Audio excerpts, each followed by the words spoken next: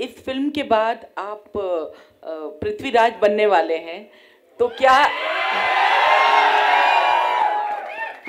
इसका इसका कितना असर पृथ्वीराज पर रहेगा? क्योंकि वो बिल्कुल डिफरेंट जॉनर की फ़िल्म है और ये बिल्कुल डिफरेंट जॉनर की।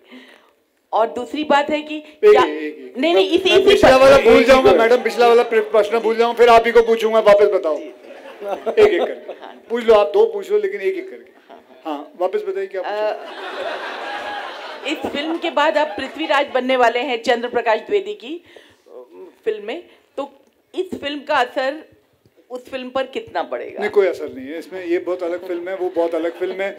इस फ़िल्म के बीच में और उस फ़िल्म के बीच में करीबन चार और आ जाएँगी फ़िल्में। तो फ़र्क तो, तो कोई फ़र्क नहीं पड़ेगा। जी और इसी से एक जुड़ा हुआ सवाल। चूँकि आप इसमें राजपूत बने हैं तो क्या कहीं आपको ऐसा लगता है कि आपके किरदार में कुछ ऐसी फनी चीज़ हो जो करनी सेना को वो ना भाए? आप रहने दें मैडम। आप आपको शांति अच्छी नहीं लगती मुझे। कोई इसमें कोई प्रॉब्लम नहीं है मैडम ओके तो मैं आपसे दरख्वास्त करूँगा हाथ जोड़ के विनती करूँगा ऐसे कुछ ना करें ओके अच्छी भली आपकी इंडस्ट्री चल रही है आपने ज़बरदस्ती कुछ करना है ये सब? नहीं, नहीं, नहीं। क्या फ़ायदा?